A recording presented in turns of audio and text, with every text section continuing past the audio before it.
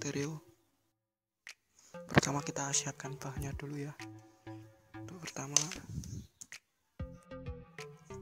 soket USB bekas saja bisa. Jangan lupa kit pumpnya PCB anda bisa membelinya ke saya. Link di deskripsi ya lihat. Potensio B100K untuk mengatur volume lalu soket RCA untuk menghubungkan ke audio ya. Jangan lupa speakernya 3 watt. Terserah mau speaker berapa in. Bekas itu bekas MP3 yang saya gunakan. Box juga.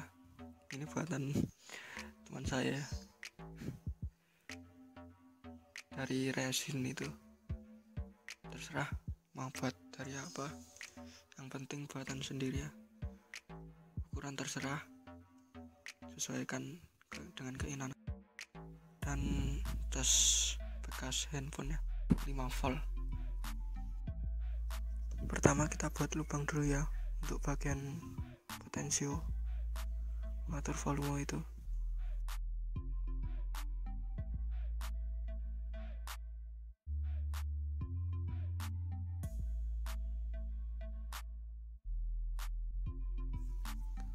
kita buat lagi lubang bagian soket RCA nya.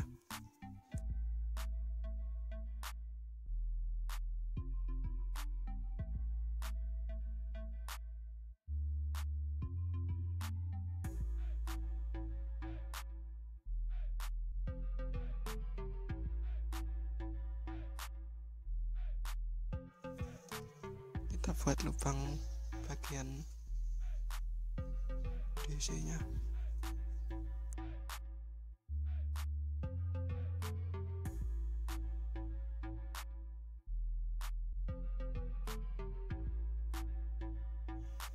setelah itu kita coba masukkan kabel ke dalam lubang tersebut.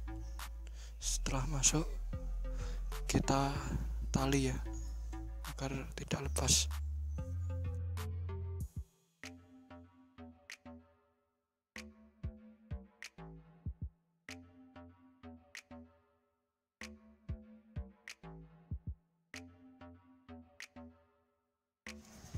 setelah itu kita coba dulu apakah kabelnya mengeluarkan tegangan. Kita cek. Nah, di situ di alat avometer. 5 volt ya. Tegangannya harus 5 volt. Tidak boleh di atas 5 volt nanti modelnya tidak kuat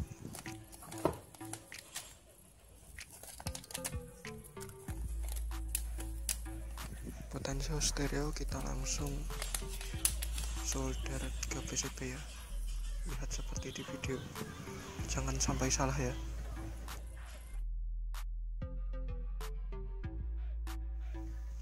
Jika kurang jelas nanti saya buatkan gambaran di deskripsi. Saya satukan di PCB agar agar lebih simpel ya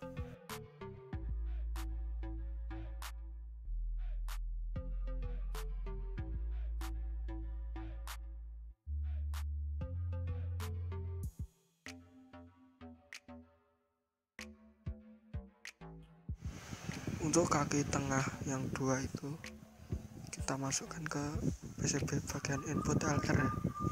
Itu bagian input. Kaki potensio juga jangan sampai terbalik.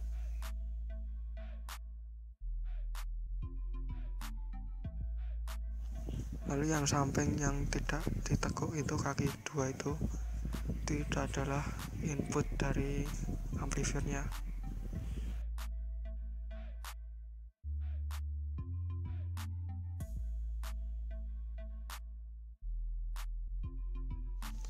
kita nyeldernya halus harus pelan ya. Karena jarak antara input dan ground itu sangat dekat sekali. Karena PCB nya ukurannya sangat kecil ya.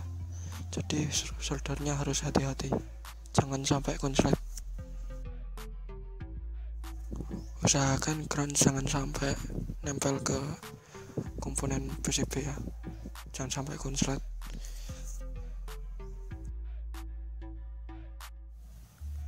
kurang lebih seperti itu ya. Sambungannya harus sama seperti di video.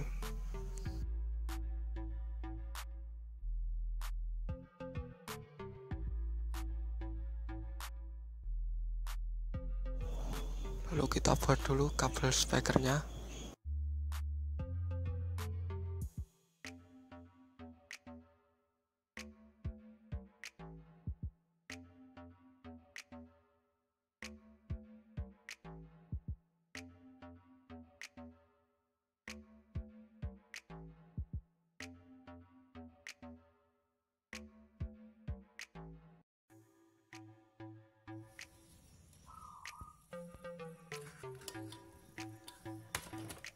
jika sudah kita beri kabel speaker kita rekatkan ke box ya box speaker. Kita rekatkan dengan lem.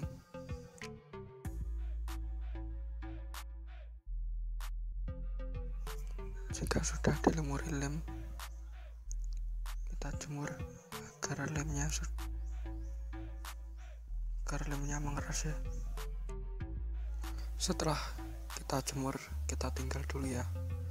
Kita sambungkan soket RCA dengan kit pumpnya kita sambung dengan kabel. Panjang kabel sesuaikan dengan box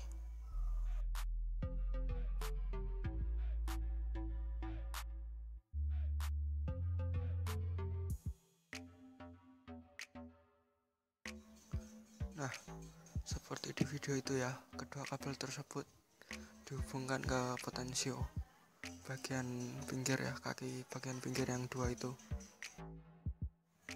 Nah kurang lebih seperti itu ya sambungannya. Untuk yang kabel yang berbeda itu itu kan ground tadi.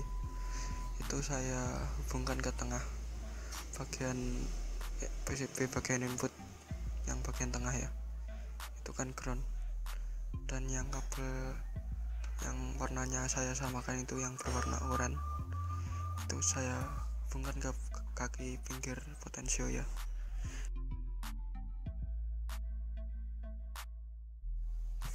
Setelah itu kita coba hubungkan kit pump mini amplifier tersebut ke trafo ya. Kabel trafo tadi. Atau tegangan bagian 5 volt tersebut kita hubungkan ke PCB ini boxnya sudah selesai penjemurannya. Tinggal kita hubungkan speaker dengan kit pumpnya pada PCB kita solder dulu ya kabel speakernya. Kita hubungkan ke PCB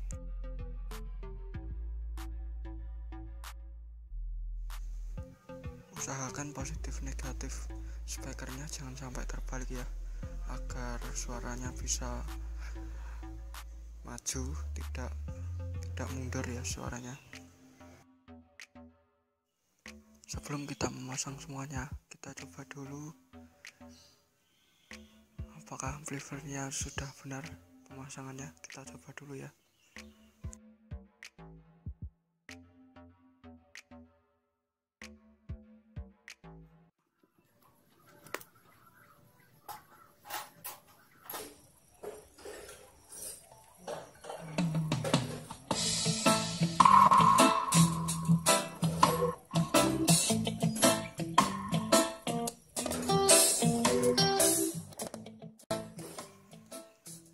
sudah bunyi ya.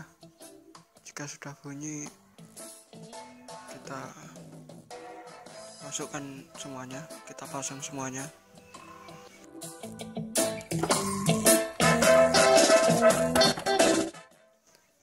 Kita pasang dulu soket RCA nya dengan baut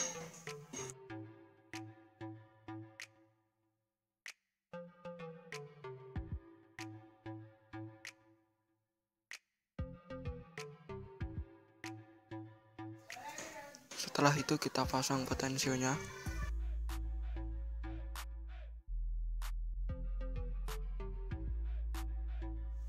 setelah potensio terpasang tutup bagian belakang kita tutup ya. Dengan menggunakan sekrup atau baut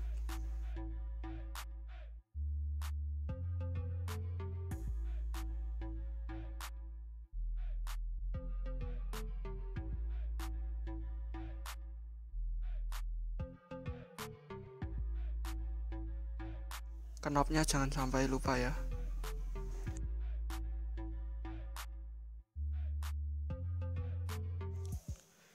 Ya sudah selesai. Kita coba lagi. Apakah sudah normal? Kita tes ya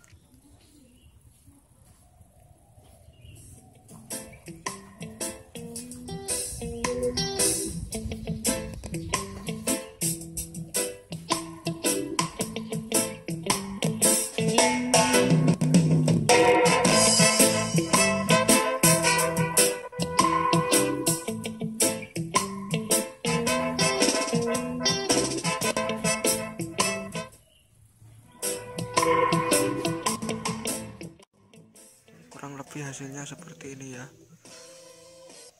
Menurut saya sudah lumayan suaranya. Sudah bagus. Ini suaranya cukup kencang ya. Pada volume full beban 4 ohm itu IC nya cuman hangat. Tidak panas tidak panas sama sekali. Menurut saya amplifier ini sudah sangat kuat ya. Sangat handal jika ada yang kurang jelas atau ada saran lain silahkan berkomentar ya. Jika kurang paham silahkan berkomentar di bawah